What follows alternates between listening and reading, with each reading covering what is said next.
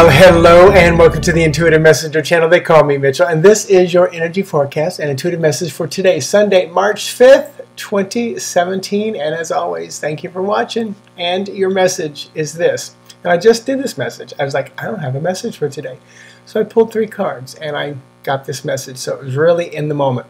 And that message is this With slow, steady, thoughtful steps, you can free yourself from the place you're in and rise to the mountaintop of victory.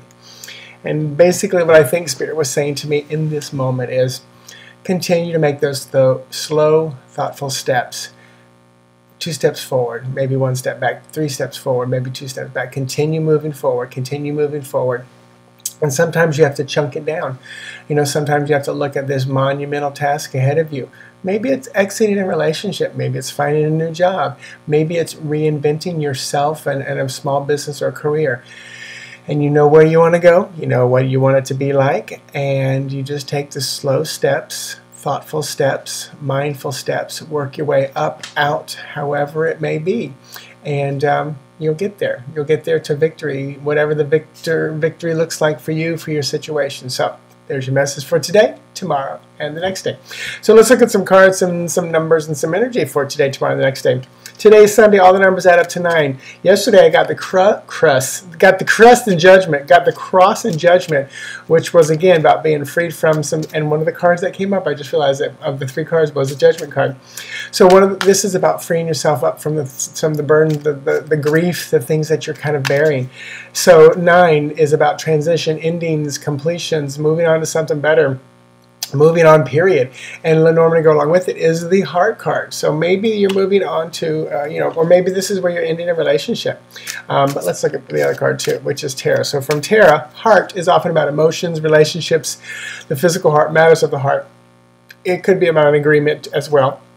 And then oh and then from tarot, it's Three of Cups. And the Three of Cups is often about parties, celebration, hanging out with your friends. You know, it's very emotional and fun and positive. So this could be a day where you celebrate and rejoice the relationship and the transition and the ending, you know, that you have. Again, the nine energy day, moving on, transition, transformation. Um, it's number of perfection, global awareness, tolerance, vision, but more than anything, it's about that ending. So celebrate, enjoy, party. Tomorrow, Monday, it's a one day because we start over again after nine beginning starts, um, you know, uh, independence, innovation, leadership. It's the masculine principle. Lenormand to go along with it is birds, 12. This can be about talking, gossiping, tweeting, um, communication. It can also be about siblings, you know, because the nest is full of your brothers and sisters. And tarot to go along with it is going to be magician.